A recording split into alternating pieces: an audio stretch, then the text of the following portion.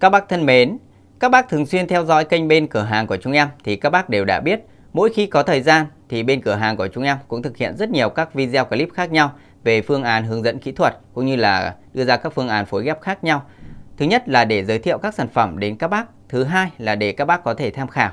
Đặc biệt những bác nào mà ít có điều kiện va chạm mà muốn sở hữu cho mình những bộ cấu hình nghe nhạc hay những bộ cấu hình hát karaoke chất lượng thì các bác có thể tham khảo những video clip do bên cửa hàng của chúng em thực hiện.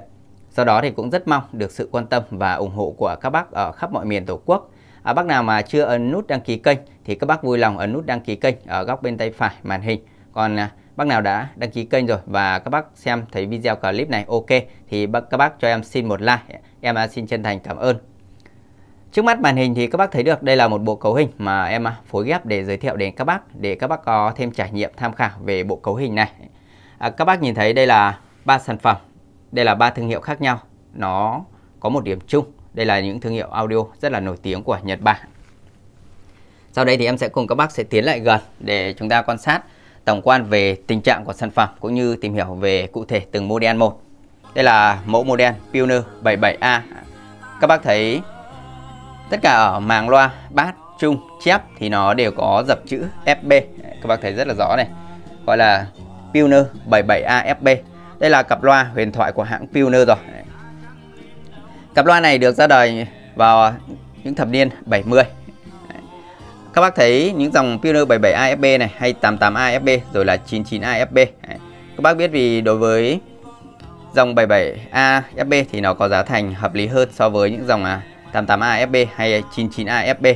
Đây là cặp loa mà em à, giới thiệu đến các bác thì nó có giá thành cũng rất là phù hợp, à, rất dễ dàng để các bác có thể sở hữu cho mình. À, đặc biệt những bác nào có kinh tế nó còn hạn hẹp thì các bác có thể tham khảo về cặp loa này.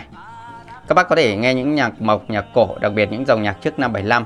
Các bác khi chúng ta nghe nhạc băng cối thì các bác nghe thấy tiếng gõ trống cốc cùm cốc cùm thì nó cho tái tạo âm thanh cực kỳ tuyệt vời và chính xác từng nốt nhạc trên à, đôi loa Pioneer 77A FB như thế này. Các bác thấy nó sử dụng một loa bát 30cm, nó sử dụng màng giấy gân vải lụa này. Đấy. Một loa trung giấy và một loa chép giấy. Chưa hết thì nó lại bố trí một loa chép kèn được bố trí nằm ở phía trên cùng như thế này. Việc bố trí thêm một loa chép kèn như thế này thì nó làm cho âm thanh sẽ sắc nét hơn, chi tiết hơn. Ở bên này thì em đã bỏ tấm căng ra để cùng các bác à, tiện quan sát về cặp loa này, về cấu trúc driver. Các bác thấy toàn thân của nó được bố trí thùng màu vàng, vân gỗ. Đây là đôi loa có thể nói đẹp về hình thức khi các bác có thể trưng bày rất là hay và đặc biệt phối ghép rất là đơn giản. Bên này thì em à, để nguyên e căng để các bác à, cùng quan sát về cái mặt trước e căng của nó này. Nó sử dụng e căng lưới mắt cáo. Nói dòng à 77A FB 288 99A FB thì rất là tên tuổi rồi. Đấy. Tùy theo điều kiện kinh tế của các bác, Đấy. các bác có, có điều kiện thì các bác có thể uh, lấy 88 hay 99A. Đấy. Tuy nhiên thì những cặp đó thì các bác có thể à, nghiên cứu thêm à, âm ly để đánh sao cho nó tương xứng. Đây là đôi loa thì nó rất là phù hợp cho các bác đây này. Đấy. Các bác thấy đây là ở uh, đường tín hiệu đi vào này, Đấy. cọc âm và cọc dương. Đằng sau thì nó trang bị cho hai vi tinh chỉnh Đấy, giúp các bác có thể hiệu chỉnh tăng giảm độ sắc nét của bản nhạc. Đấy. Sau này thì nó có trở kháng là 8 ohm. Đấy. Sau đây thì em à, sẽ nói qua về chiều cao kích thước để các bác có thể uh, nắm và cân đối được cái vị trí kê của mình. Đôi loa này thì có chiều cao là khoảng 65, cao 65 này, ngang 37 và sâu của nó là 31 cm. À, các bác thấy đây là đôi loa rất là gọn gàng về kích thước. Đấy. Bát 30, 4 loa trên một thân thùng và kích thước của nó rất là gọn gàng, vuông vắn. Thùng gỗ màu vàng rất là đẹp. Đấy. Đôi loa Pioneer 77afb như thế này thì à, có giá 19 triệu đồng. Các bác có thể kết hợp với rất nhiều các dòng âm ly. Tuy nhiên thì các bác cũng vẫn nên sử dụng những chiếc âm ly Sansui thuộc dòng G-Saver như thế này đánh cực kỳ tuyệt vời. Vì chất âm của những dòng săn xui thì đặc biệt những dòng G-Saver như thế này nó đem lại âm thanh rất là mộc mạc, ấm áp, rất phù hợp với đôi loa dòng 77afb như thế này. Các bác thấy được đây là ở mặt trước của chiếc âm ly Sansui 661. Ở mặt trước của nó thì nó sử dụng mặt phay nhôm trắng và các tần số hiển thị FM và AM. Ngoài là chiếc âm ly ra thì các bác có thể nghe đài FM rất là ok. Xung quanh thì nó được bọc bằng vỏ gỗ. Chất âm của dòng này thì nó đem lại âm thanh tiếng của nó rất là trong và sạch, đặc trưng của những dòng âm ly thuộc dòng G-Saver. Và khi kết hợp với dòng 77 afb như thế này thì đem lại âm thanh rất là mộc mạc, ấm áp và chân thật. Chiếc âm ly này thì có giá chỉ 9 triệu đồng thôi. Đây là một video clip thì Ama lên để giới thiệu đến các bác để các bác có thể tham khảo. Và đặc biệt bác nào có điều kiện kinh tế vừa phải mà muốn được sở hữu cho mình những đôi loa chất lượng hàng hiệu như thế này và đặc biệt muốn nghe những dòng âm thanh mộc thì các bác có thể tham khảo ở video clip này. Các bác thấy đây là chiếc đầu Sony D2, đây là chiếc đầu 3 trong 1 nó vừa chạy CD, MD và vừa giải mã DAC. Ngoài việc các bác có thể vừa chạy CD hay MD và các bác sử dụng nguồn phát từ trên mạng xuống ấy, thì các bác việc nghe nhạc từ trên mạng xuống thì nó rất là đa năng giúp chúng ta có thể nghe thể loại nhạc nào cũng có. Nhưng tuy nhiên thì nghe nhạc trên mạng nó sẽ không đem lại âm thanh chi tiết tách bạch rõ ràng. Do đó thì các bác nghe thấy nó vẫn có sự ù rề và chưa được à, nét à, đúng với cái gu nghe hay cũng như sở thích của mình. Thì các bác có thể sử dụng bộ giải mã DSC của nó nó sẽ làm cho bản nhạc sẽ chi tiết bóc tách rõ ràng hơn, sắc nét hơn. Và chiếc đầu này thì có giá chỉ dưới 10 triệu đồng thôi. Và ngay sau đây thì âm sẽ test âm một đoạn để các bác cùng vào thưởng thức chất âm trên bộ ba sản phẩm này. Và cuối cùng thì các bác có nhu cầu mua sắm hay cần tư vấn phối ghép thì các bác cứ alo cho chúng em qua hai số điện thoại trên tấm biển xanh đây.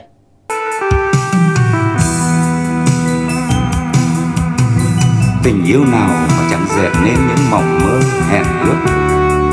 Và cuộc đời sau này, cho dù có gặp ngang trái bể dâu Thì kẻ yêu nhau làm sao có thể quên được những lần đã ngoéo tay nhau thề.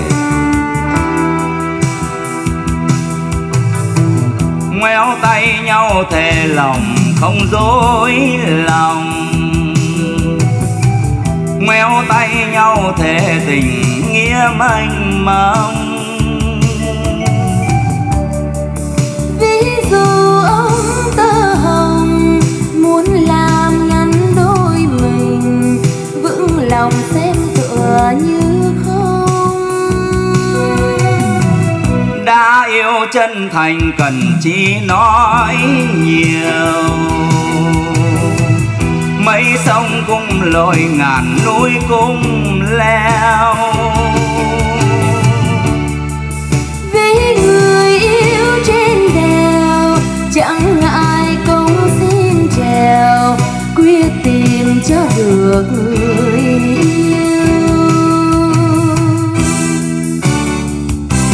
tóc em dài em cài bóng thiên lý em mím miệng em cười.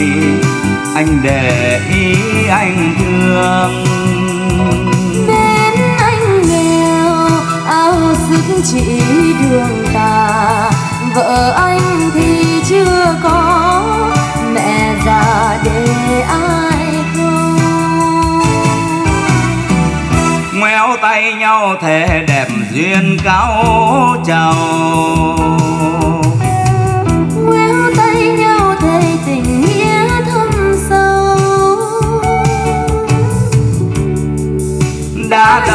tâm chung đầu dẫu biển đông không màng ta càng cho đường gần nhau.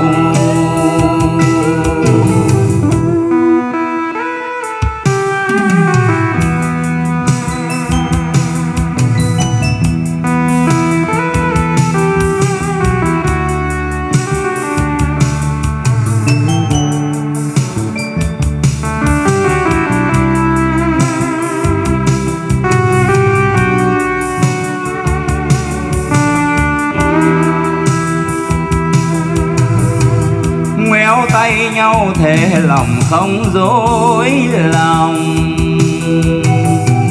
Ngoéo tay nhau thề tình nghĩa mênh mông. Ví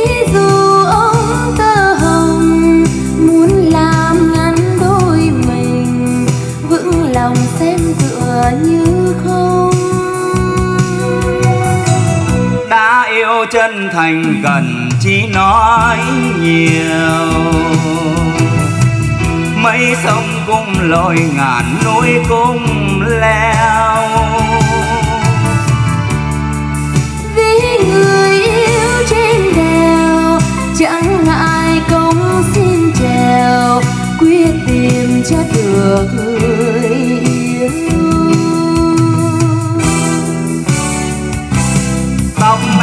dài, em cài bóng thiên lý. Em mím miệng, em cười, anh để ý anh thương.